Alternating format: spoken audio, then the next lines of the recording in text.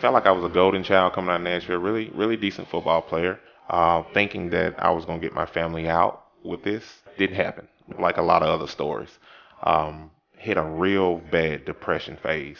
Uh, my last, I guess my last year of really playing football. I was seeing some big schools uh, and, and came through uh, from Hendersonville. I watch a lot of the Beech guys. I watch some guys from uh, coming from uh, what is it, Murfreesboro, whatever it may be. You can be on a 50, 60 man roster, whatever it may be, at a huge school and not even get looked at.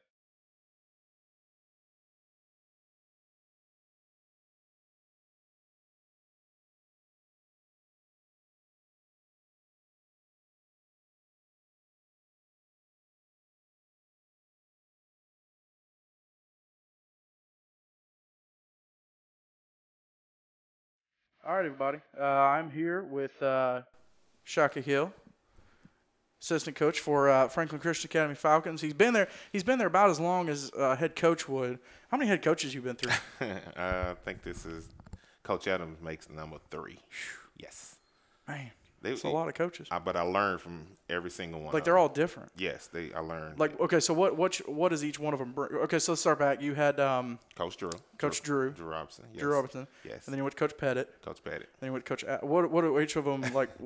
what are the differences? Um, Like Coach, how did you have to adapt to each of them? Coach Drew, first of all, I need to give him a shout out because he, he gave me my first opportunity to Yeah. coach. Um, didn't know anything about defense, so he gave me a shot to do that. Right. And, uh, but his offensive mind of just running gun, that's kind of his style. Right. He can really, really good at quarterbacks. Well, he had a good he had a good team for that Yeah. with Casey and Alex and yeah, uh. Carpenter brothers. The, uh, I don't think Carpenter Brothers was coming The in older yet. one, the oldest one was there. Yeah, I think they was coming in. Yeah, they were getting there. Yeah, yeah. So he's really a well-minded offensive guy. Coach Pettit, more of a stern guy. He kept everything in order. That's, Right. that's kind of his style.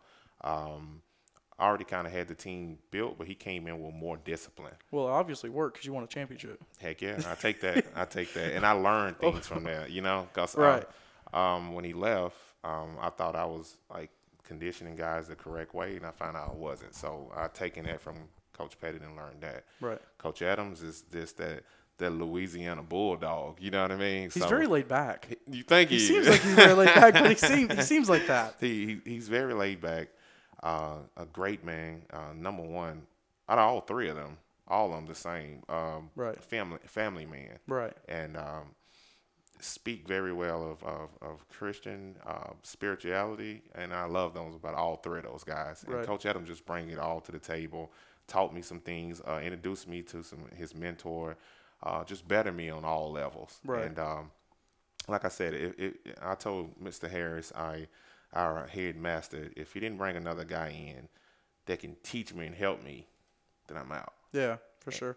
They, he bought the perfect guy for this. So you have a not to, not to pump you up, but you have a little bit of a say. Do you have a little bit of a say on who they bring in? A little sometimes- bit, sometimes. not like too a, much, but a little not not bit, not yeah. like a not like i I'm gonna hold this over your head, but yeah. like a, you know, kind of like guiding because you know sometimes you got somebody who it's it's different like different ads and stuff. Sometimes one that hasn't experienced football as much True. has a trouble hiring a head football coach. If you have a guy who can say, okay, this is what you're looking for, then they can fill in the other side of it as to can they help with the school, can they help with the other aspects off the football field. Well, another thing you can say too is um, I think uh, Coach Adams was there a couple years before he had the head coach uh, position. Right. Um, so he was always kind of established, and I was like, this guy knows his stuff. You Yeah. know what I mean? Um, and, and he just he, he brought certain things to the table, and I think you know in due time, I really really believe if it's God is ready for you to have an opportunity, you will receive it. So I'm not gonna lie, I felt like that I was maybe in the line to be a head coach, but it's things that I didn't understand and learn because I'm still going through it. You know what I mean? right. So and it was a perfect guy to learn from with Coach Adams, and it was his time, God's time for him to be at this school. Right. Now you've been doing this seven years. Yes. let's back up before that because a lot of people have seen with seven years a lot of people have seen you around Yes. they've seen your shaw they've seen your bucket hat they've seen everything they've seen the beard Yeah. the style Yeah. but let's back up before that Right. let's get a little background where, where would you come from where, where were you born or raised born raised Um, straight out of Nashville, Tennessee. Okay. I'm, I'm I'm a hometown boy out of Nashville, Tennessee. Uh, went to um, high school, went to Goodpasture Okay. Christian School Okay. uh, under Coach Martin.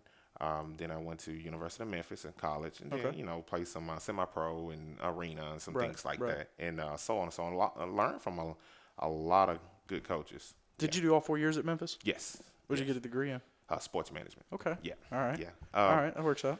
you, you know, and I feel like that I'm God has put me here for a reason. Right. I really, really do feel like that. I was on. I mean, this can be a whole nother story, but I was in. I was in a collapse in my We got life. We got time. uh, I, I, man, we had um, uh, Matt Bowden on last Mm-hmm. week. He was a running back for Lancaster Christian. Awesome. And so, you know, the part of that was just finding out his background because he had a crazy background. Did he? With his family, his parents, and everything. Wow.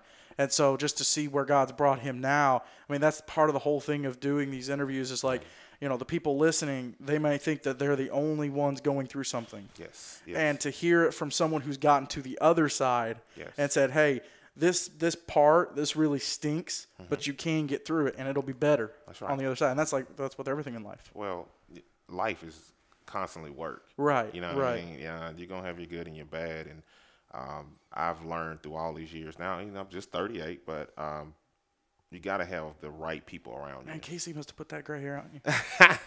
yeah, he was one of. I gotta give Casey a hard time. He was one of. He was one of 'em? He was one of them. Um, Probably Elijah a little bit too. uh, all of them. All of Oh, but great kids. Right. Those are kids you I still keep up with. Yeah, yeah, yeah. yeah. So, Uh, so how'd you get to FCA? um, my fiance, Okay. uh, my fiance, I, like I said, is the story. Um, football. I, I love football. Right. You know, um, like I said, to to make things shorten up, uh, felt like I was a golden child coming out of Nashville. Really, really decent football player. Uh, thinking that I was gonna get my family out with this didn't happen. Like a lot of other stories, um, hit a real bad depression phase. Uh, my last, I guess, my last year of really playing football, and if it wasn't for her to put my resume out, that I didn't even know I had a resume. Right, right. and uh, like I said, I gotta give Coach Drew for uh, some respect for responding to something I didn't know I had out. Right. And he was just like, "I got your your resume. I love it, brother. Coming. I was like, "What resume?" so I was on a bad collapse of not wanting to be here anymore. Sounds like you found a good helpmate. I think we. all I, I I think any man who's who's Yeah. worth anything has a woman who's a hundred times better. Yeah, she's behind uh, her. She's a handful, Right. I, I love her. Uh, she still lives in Memphis. We're, Right. we're still trying to figure things out. Right. But um, man, my best friend. Yeah. Okay, awesome, awesome. Um, we mentioned Casey and Elijah and all of them. Who was? I'm not going to ask who your favorite quarterback is. I'm not going to have you ask you that. Instead, I'll ask what were some of their differences. Like, what were some of the some, some, what were some of the things about each of them that made them unique? Okay. You know, not so much even bad stuff. Just how were they? di- How'd you have to? Well, you do defense too, Yes, so yes. you know they.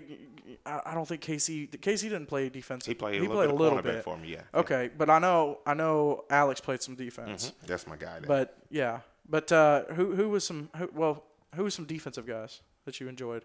uh, J.P. Smith, Yeah, uh, a beast. people around here don't know. He's a beast. Uh, and and it- that kind of defined me and letting me know that I was a decent enough coach. Right. Uh, because he went to the Mecca to play football in Oh, yeah. his last year at Texas. Yeah. And I was like, okay. He was like, they don't like the way I play defensive end. Right. And I was like, I taught him that. I, I, I, may not be good to this. and and Right. next thing you know, it was like, do what you were doing, you know? So, and uh, he did it and ended up getting like 13, 14 sacks. And I was like, maybe I know a little bit of something about this game. So uh, he, he was a really, a really good player. Of course, Alex Dites, um, Braden Holcomb, a beast. I mean, I had, I was, you know, I don't want to leave anybody out there, but I was blessed with a lot of talent. Right. Um, Well, know, and so many as many guys as you had, you're gonna forget somebody. of course. You're gonna forget But somebody. uh, but as soon as I mean we got connections. Um, I love them to death. They still have my phone number. right. I'm gonna always be there for them. So Guys yeah. like I- guys like uh, Brandon Zane. oh my God. Uh, uh, Insane. Zane the goat, the uh, the best center I've seen. If if anybody, it, he would he was the last person I would have thought would have gone to seminary. Yeah, uh, yeah. And then all of a sudden he's in seminary. I'm like, what are you doing? he's he, he's he's He's um, he's hilarious. he's a full of different pages, Yeah, man. So yeah. uh, yeah, Wild Child, uh, Brandon, uh, Brandon Miner, a beast. Could Right. have easily, I felt like played D two. Oh, yeah. You know, yeah, Oh, yeah. you know, but some guys just make some. It's really hard to go to the next level, but Right. you have to constantly work. But all those guys, Two years Right. ago, him and Colton Rollins were kind of from here. Mm-hmm. Yeah. We're kind of in a competition for for sack leader, Yeah. and I think they ended up tied. did they? maybe or like it was Nah. like half a sack off. What was he like during that season of like knowing? Did did he know? Did I he like didn't keep up with it? You didn't know. I didn't know. you Uh, think he kept up with it? Like how he was doing with sacks No. and numbers and stuff? Not at all. I didn't. I didn't know. To someone was like, I think as a team we had forty. Y'all had a whole It bunch. was ridiculous. Well, because you had him and Hayden. Yeah, well, Yeah. yeah. I forgot about the Superman. yeah. See, now you're making me feel bad. Clark yeah. Kent, little blonde, blonde the swoop over. Yeah, yeah. He's- I mean, I'm telling you, man, these guys are really, really good ball players. And it's one thing I do like about MTech is doesn't have that that rule of a TSSAA that I can keep up with these guys. Right. I mean, they call me and say they want to work out. yeah. Let's work out. Yeah, exactly. You know what I mean? Yeah. So, uh, Well, you could just get to know him on a more personal level Of and spend like outside the field time of course, when others can't. Yes. and that's the great thing about it. yes, of course. That is one of the good things. that's the um, that's the blessing of being a coach, I guess. Right. There's so many different type of coaches, and I'm not gonna lie to you. It's a lot of coaches around my years I just don't like. Yeah. Um, because they got the title coach and not act like they're not a person anymore. Right. You know, or a father or whatever it may be. It's all about W's and L's, and it's about life. It's almost like the whole leader slash boss thing. Mm, leader said that. versus boss. You yeah. know, Yeah. I've had a lot of bosses and I've had some leaders, Yes. and it's a total difference. Yes, but God. It's like it's like my head coach was a was a leader, Right. uh, Tommy Thornton. Yeah, of course. Yeah. Totally different guy. Right. And so it's just it's great. But, But- God, but God put those. I don't care if they are bosses or strict or whatever. I mean, they put them in your life for for a season, Right. and it's something to learn from, right? So yeah, I take that. Now you're insane because you you live in Hendersonville. yeah, You drive to Franklin. yeah, I live in Springfield. I drive all over the place. That's pretty, I wouldn't make that drive for football. that is pretty awesome. Especially with Hendersonville Christian was right there there for, for, for the time. that is true. Aaron Academy was around back in the day. That is true. Christian Communities right here. I mean, you, you got some. You get the heat right there in Mount Juliet. Yeah. There had to have been temptation to go to one of those. Had to be a little bit, just a little bit closer drive. Like I said, um, first of all, didn't know about eight man football. Right. Um, right. I didn't want to coach. I mean, I was so depressed uh, about. Like I said, one day when we speak again, I'll tell you about all this stuff. But Yeah. Oh, we'll, we'll do this again. All right. We're, we're already we're already booking it right now. so, like I said, my lady, Latabney Simmons, put out something I never knew anything about. Right. And somebody reached, and it was that guy, Coach Drew.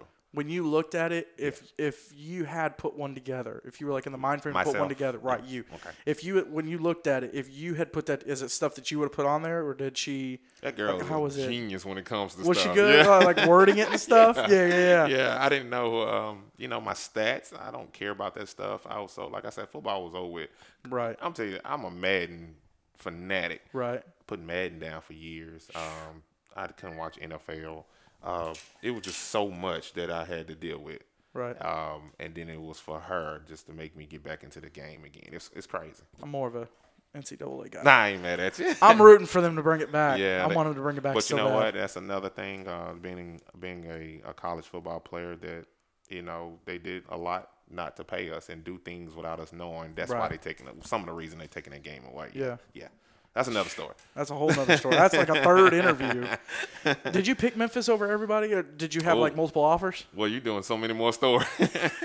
um, uh, a really really good recruit, and I tell everybody now, my ACT slipped up. Right. Um, been offered by everybody in the nation, and the ACT slipped up. But they were there. Um, maybe it was a reason because that's why I met my fiance. But right, exactly. and I learned some things. I learned some things from going from a really really bad team to and a really not so well put together team Right. to being one of the really best teams out now. Um, and I see it built. We end up being ranked. The defense was always ranked in the top ten. So Yeah. I learned a lot from Tommy West. Um, so it was a reason that, and I, we're kind of going through the same. Not it's organized, Yeah, but yeah. we're going through from losses, losing good people, to trying to build this thing back. And and coming out of my mouth, uh, FCA will be back, and we're gonna have some competitions this year All too. right, You know, so right. yeah, No, it's cool. I, w- I wouldn't expect any less. yeah. I. I mean, if you get an assistant coach sit down and go, man, we're just we're not going to do good. That's when I'm like, mm, That's not me. that's kind of suspicious. I'm, I'm, I'm. Listen, God is putting something in me that um, I don't think any other coach have. I mean, I'm gonna say this. Mr. HH Hugh Harris told me. He said, "Man, I've seen a lot of good coaches. This is a Texas man. Yeah, I've yeah. seen a lot of good coaches, um, but they don't have the gift that you have, and I never understood that.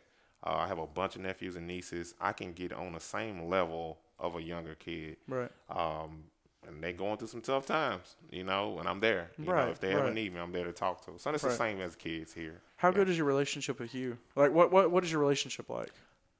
wow, that's um interesting. It's um he can be like a father. Right. Uh, he can be like an uncle. He can be somebody I just really want to go water boy on.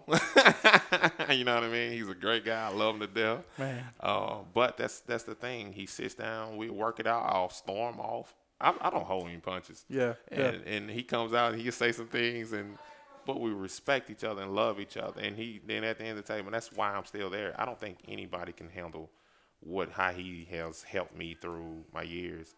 Um, and one memory that I I'm- couldn't imagine you being a handful. no. one memory I'm never gonna forget is I lost my best friend is my grandmother Susan Lyle. right. Um, heartbroken, and there was there was three or four guys showed up, including uh, Hugh Harris. Wow. You know what I mean with flowers and things, man. And, and I was like, you know what I mean? Yeah. I, I don't think I was even established at that school that well. Right. But this just showed me that this is a guy I can I can Right. go with, with for some years. So Yeah, you weren't even expecting it. yeah, of course. Who was a kid that came in and you know obviously you're a very positive guy, No, but you try. Well, we all try we to. all be. try. but you see a kid come in and you're like, man, I don't know about this kid. If if there were tryouts and a cutting block, you'd he'd be on the cutting block? okay. Who so who's a kid that came in, you'd put him on the cutting block, and he completely turned out different than you expected?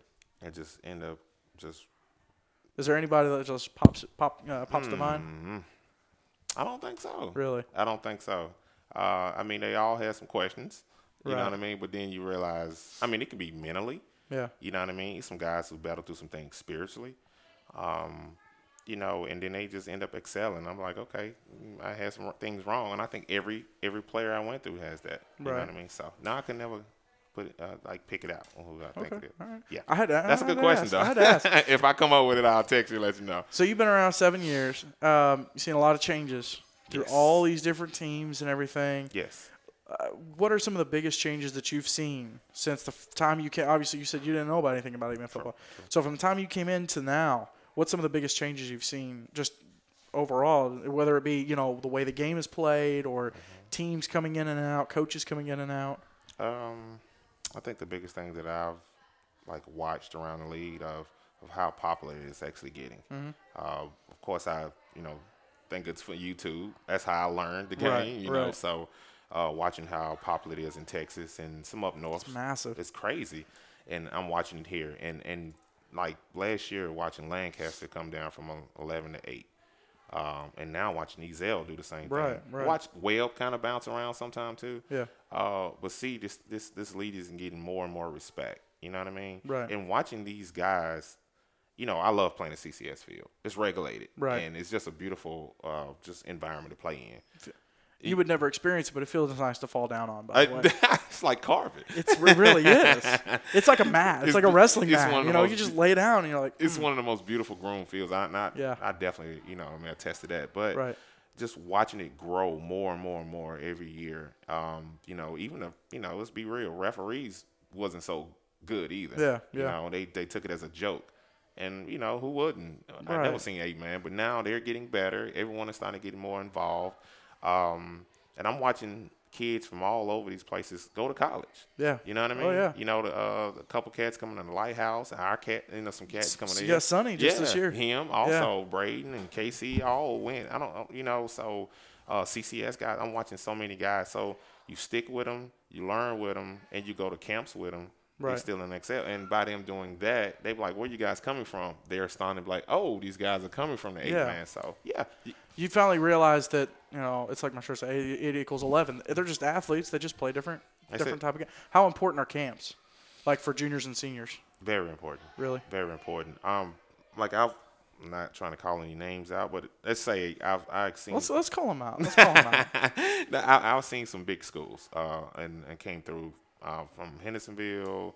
I watch a lot of the Beech guys. I watch some guys from uh, coming from uh, what is it, Murfreesboro, whatever it may be. You can be on a 50, 60 man roster, whatever it may be, at a huge school and not even get looked at. Uh, I experienced that about three years ago with a Hillsboro kid. Yeah. Man, this guy's 245, 6'5", and he's 17.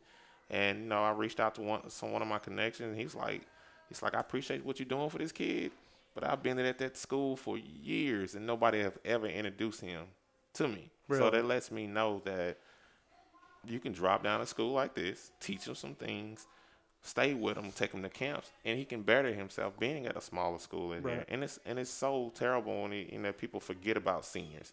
I think every every everyone needs to sit down a junior and a senior, especially at a junior, and ask them, "Do you want to go further in this game?" Right. And that's when you, as a coach and as a person, needs to try to put them in the right spot to do it. Which one's more important, camps or film? Or do they have a separate, uh, different place? I think both.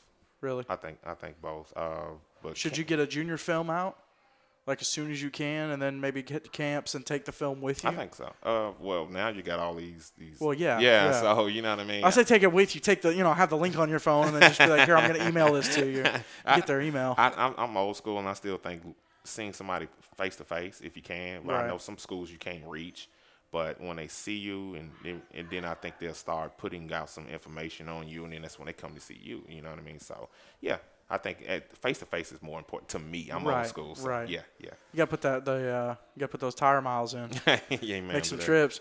What was the, uh, what's the favorite play other than you know you guys' field because you've been there for, for the, the field. You guys played that field for forever. Yeah. What's your favorite? I know you said CCS. Is there anywhere else you like to play, or that you have played that you wish you could play at again?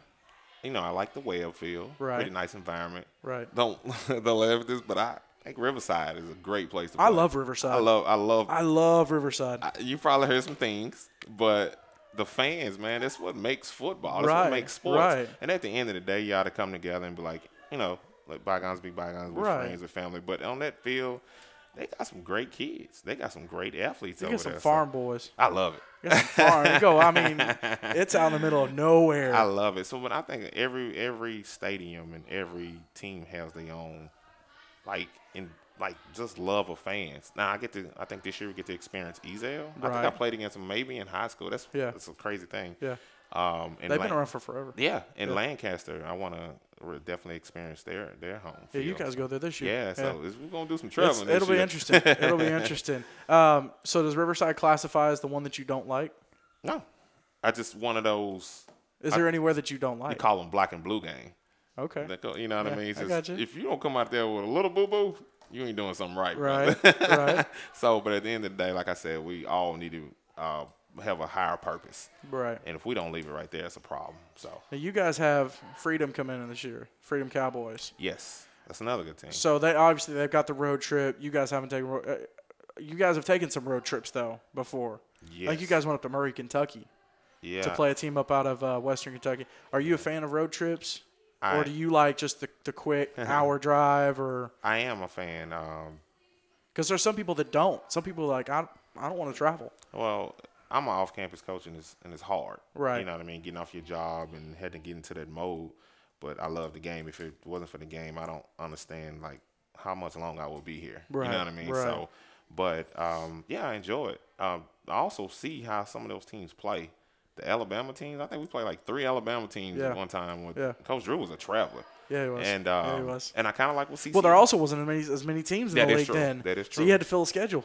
And that's true. Yeah. So, and uh, I like what CCS does. They they go out and play some teams. Uh, Right. we we look at that, and I was like, I like that. And then Coach Drew, a long time ago, and now that we're kind of adapting that is, can we be the best eight man team around? Yeah. One day, Yeah. and be like, okay, let's give what a mecca, you know, where it started at. Let's give them a shout. Yeah. Once every year. Get back, yeah. Yeah. Yeah, You know what yeah. I mean? So, Missouri and Nebraska got a bunch of them. wow. There you Whole go. bunch. Well, and, and we always mention the Vander Esch Mm. from Dallas. He he played eight man in Idaho. And And he's, he is such a. they've got a um, bunch of it out there. Man, he, he I mean he really needs to come out and start speaking a little bit. Yeah. You know what I mean? Because people kids now have gotten like something to look forward Right. to. You know what I mean? Well, and it could grow so much because with with numbers dropping down on teams, True. if he speaks up and says, "Hey, I played on A man team. I walked on to college. I got drafted." That's true. Just because where you play doesn't it doesn't affect it. that is true. You know, and it's not like a it's not like a you know little brother fighting for respect. It's just a hey, here it is. Yeah, I, I mean, it, and I give more and more respect of, especially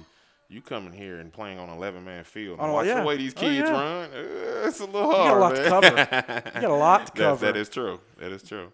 But yeah, how do you how do you like the uh, do you like having the whole Franklin rivalry? You enjoy that? I, I, do- I do. I, I, I really do. But I, I think sometimes we need to do some talking one day. Get, get a little out of hand. yeah. Those kids, those kids enjoy it. I love them, man. Uh, and you know they, they have a program from volleyball, from from basketball. They're well coached over there. Oh, yeah. You know, so and I love it. I, I love being in and watching those kids. Uh, I missed the scrimmage this year, just trying to better each other. Right. You know, so another thing to say about playing those teams in other different states too. The, I, I really feel like Tennessee coaches get a. I, sometimes I think we, we and I looked it up. I honestly did. Yeah. I feel like Tennessee coaches on a pay. Right. They don't guess. They Oh, yeah. I don't think we can coach. Um, Oh, yeah. And I watched. Um, I watched them bring. I've watched this bring other guys in from different states to coach. And I think it's time for us to start you Oh, yeah. showing up. Hey man, we can coach. You got to pay. You got to pay. Yeah. Workman's worthy of his hire. All right. So You know what they Tennessee, say. These Tennessee teams gonna continue They're gonna better go and up. better. Yes, They're sir. gonna go up. All right. Well, I appreciate it, man. God bless, brother. And I wanna say thanks, thanks for listening.